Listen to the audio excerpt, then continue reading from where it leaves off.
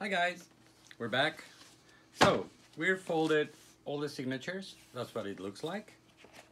And here we have 20 signatures of five sheet each. So that means there's 400 pages right here.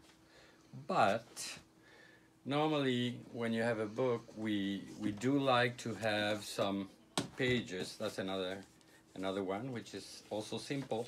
But as you can see, the, there are some inner pages where you might want to glue feathers or uh, leaves, whatever. So we're gonna do it this. This is actually Sonia's Bissonnette's grimoire that we're working on. And she chose color red. So here we have two signatures and we are going to put the signatures in that color at the end and the beginning of the book. So we'll do the same operation as well, which is fold them as you've seen. Make sure that the edges are lined up. Put your finger, the index finger on top, put it flat on the board, hold them with two hands, drive your thumbs downwards and squish it horizontally so that it will be nice. There you go. This will be at the beginning of the book and we'll do the same for the end.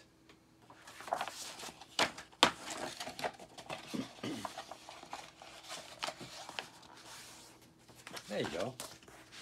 So this book has actually right now, since we got uh, two signatures which have four sheets inside 438 pages.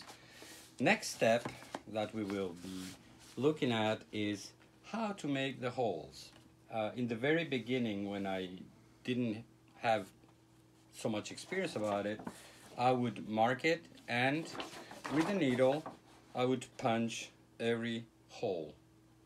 But that doesn't guarantee that they're going to be lined up and the problem is when you sew the pages or the signatures together, it there might be like half a millimeter or they might you know be on the left on the right and so on and so forth which you don't want to do so the next step will be to actually grab all your pages all your signatures and put them in a press. And then after measuring usually my spacing is one inch but you can actually put two inches three inches between each hole. It depends how you want it. But think about that. When we'll place these pages on the loom that I will show you later uh, that it's way more work if you have more holes obviously right and so what we'll do once uh, we measure the distance here uh, we'll mark lines on the spine of the book and then we'll bind them very tightly on a press and with a hacksaw we'll make a slit everywhere and that will go about let's say a sixteenth of an inch in depth and that will give you the holes perfectly matched for each signature. And when we place it one by one on the loom it will be easier for them to line up when you sew them. That is it. I'll see you later. Bye